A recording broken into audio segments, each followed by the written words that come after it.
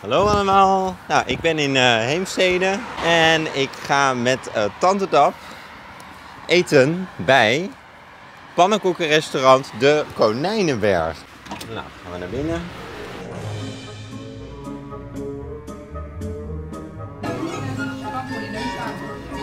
We gaan zitten. Nou, wat gezellig. Nou, we hebben een uh, pannenkoek besteld zojuist.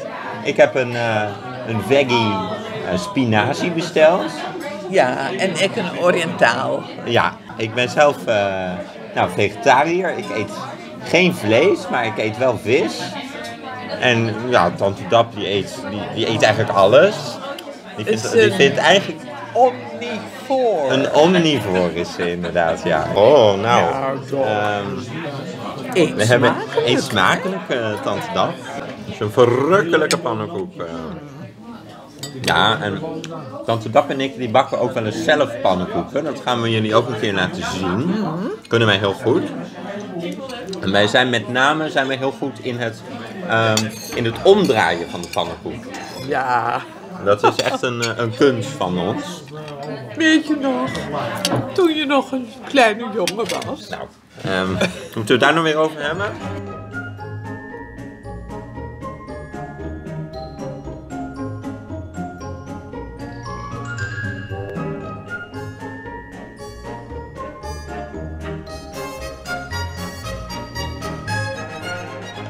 Nou, we hebben ervan genoten. Het was echt uh, een portret. Ik geniet nog steeds hoor. Tante Dap geniet nog steeds van haar aller, allerlaatste hap.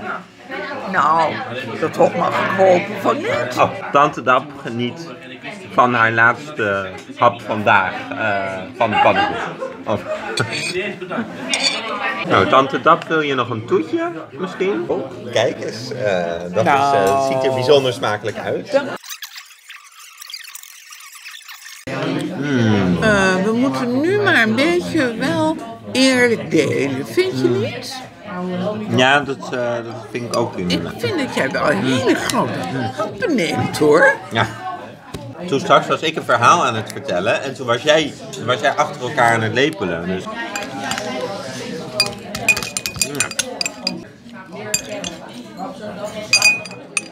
Zeg toch.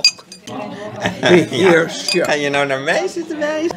Dat kan nog niet. Een dame van 74 en dan zo ordinair uit zo'n bakje lopen scheppen. Ja, maar wat ik eigenlijk aan het uitleggen ben, is dat jij... Dat jij, ga je nou weer wijzen?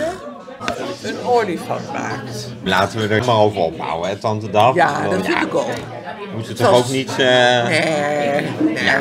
Zo'n gezellige dag. Ja, precies. Lieve volgers, dank jullie wel weer voor het kijken. We hopen jullie de volgende keer te zien. Als je dit een leuke, uh, uh, leuke vlog vindt, dan kun je liken. Jazeker. En dan zou ik zeggen tot de volgende keer. Bye bye.